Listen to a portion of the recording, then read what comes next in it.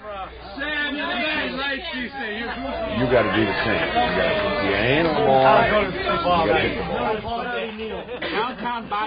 So we went to the finals last year. And it curved and curved and hit the Put them back. But you won't have your back. At least when I going out on the strike. He strikes on me and I Uh, guys who are obsessive softball players, they want a game every minute. They want to play. They they sit at home and they're known. They're softball junkies. It's known, you know, that, that Joe Glatz, a great player, if you can get him, he'll play for you anytime. So you got a decent team. He don't play for a lousy team. There's no good softball player wants to play for a lousy team. But you call him and say, Joe, you got a game this afternoon? No. Hey, I can use a guy. I can use a guy in center field. Can you come out? Yeah. What, what, what, what time? There are guys like this who, who, who play 150 games a summer. Well, when you consider that, that's that's all a major league ba- baseball player plays, and he doesn't do anything else. Well, this guy may be a baggage handler. He may work in a factory eight hours a day, and he still will squeeze 150 games a summer in. Every day after work, he will play because he loves it. He loves it. He loves that moment when the bat hits the ball and he gets the fast jump in center field and he's moving, and he leaps up and makes that over-the-shoulder catch. I mean, that's it. It's the fun. It's the fun of the game. If you work for the state of Chicago Police Department, it's very easy to put together a great team. All cop teams are good teams because they're made up primarily of Chicago, native-born Chicagoans who play softball, macho males, uh, and it's easy to put out a, a good company team. If you play for a company like mine that has a very relatively small number of people, and a lot of them are Ivy Leaguers who aren't very good at softball because they don't want to hurt their hands. Uh, then it's very hard to put out a good softball team. So I, my team is not a pure Sun Times team. No, I admit there are people on my team who may not work for the Sun Times. I mean, I don't. I, a ringer is somebody you bring out. Uh, a special player you may pay for a money game. Well, I, I, you know, we don't have guys like that. And my ringers are really my best players are not ringers. Uh, I mean, the best player on my team is obviously me, and I'm not a ringer. Uh, but I do have a couple guys who don't earn all their income working for my. The greatest team five years ago in America was a team called the Strykers. They were the defending national champions. They were the greatest team you ever saw. And so one weekend, the following year, their manager, who was also my chief ringer, called me and said, "We need a pitcher this weekend." I said, "Who needs a pitcher?" Hey, Sammy, get around. So I said, "You need a, a pitcher." Me? He says, "Yeah. We're in a big tournament, important tournament. We got to have a pitcher."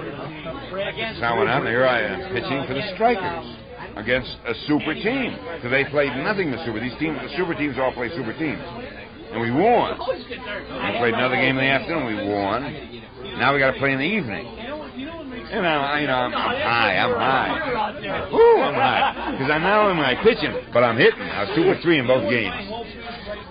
So we go out that night and we win again. Oh man, now I did it. I did it. I, I pitched for the Strykers. Well, we went out and had a few drinks. Now my family's in Wisconsin. I have a summer home in Wisconsin.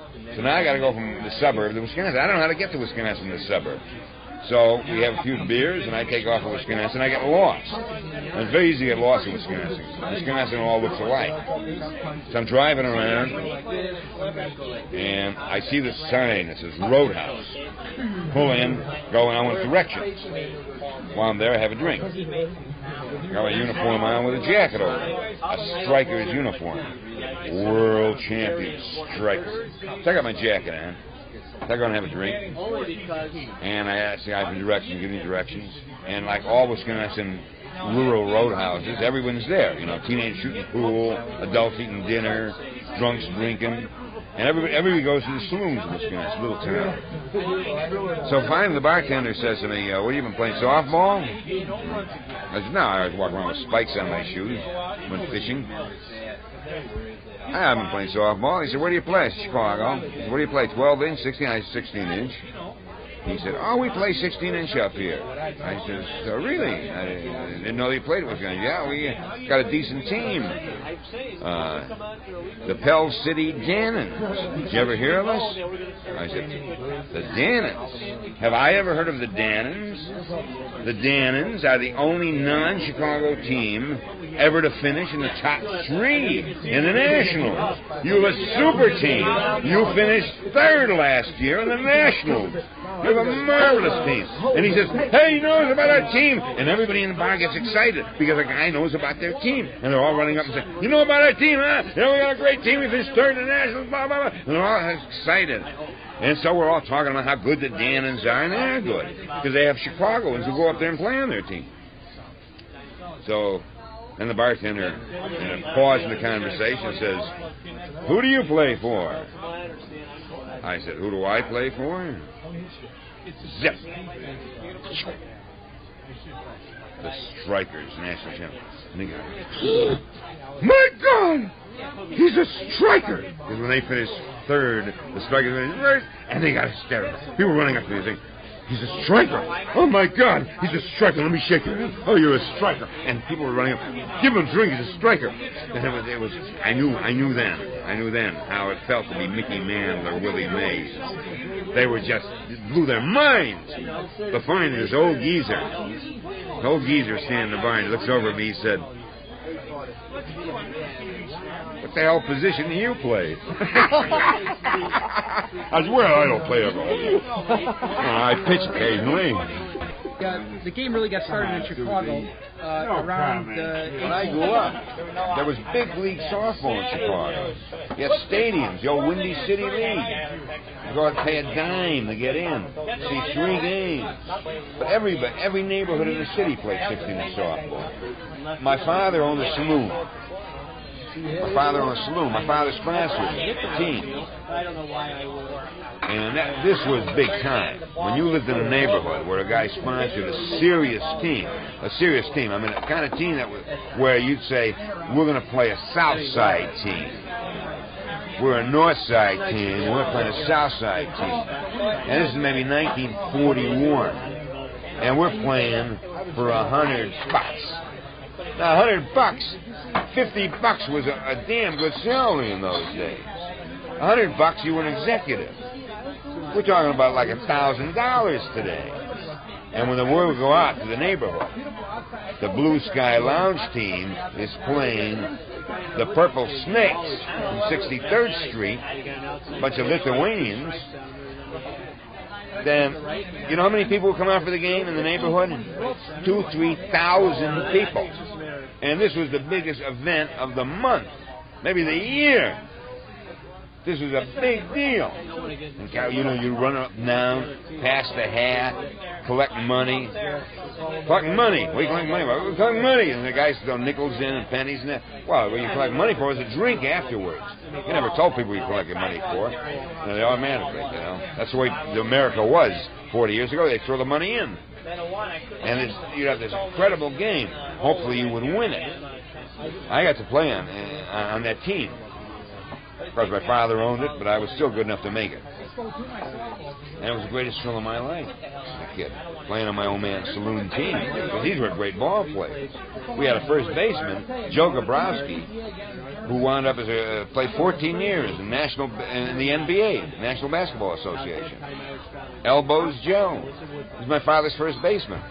Never went to college. The reason he quit high school uh, was my old man would serve him beer. He figured, why do I go to college? I can get beer right here. When are you gonna give it up? Yeah. I'm gonna play softball. Well,